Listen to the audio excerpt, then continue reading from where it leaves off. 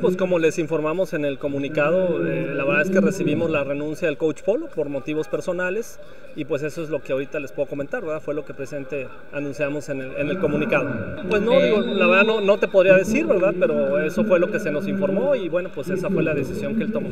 Pues mira, eso pues es una situación que tendremos que investigar, ¿verdad? Que está investigando, pero ahorita por lo pronto, la verdad, pues lo que te podría comentar es eso, ¿no? De, de la renuncia por motivos personales, ¿verdad? No, no sabemos qué haya más allá.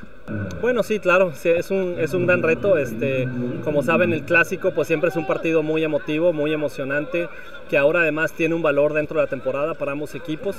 Eh, pues lo que sigue es seguirnos preparando. ¿verdad? Yo creo que pues los chavos, eh, si tú los ves ahorita, están muy integrados, están como una familia juntos, están eh, apoyándose unos a otros y creo que han reaccionado de una manera muy positiva y claro, bueno, pues la preparación será fundamental para llegar al clásico en un mejor momento. ¿verdad? Bueno, digo, mira, esa decisión la tomaremos en los próximos días, obviamente es algo que hay que tomar de manera urgente y con mucho gusto les estaremos informando en cuanto tengamos la decisión, ¿verdad? Cuenten con ello.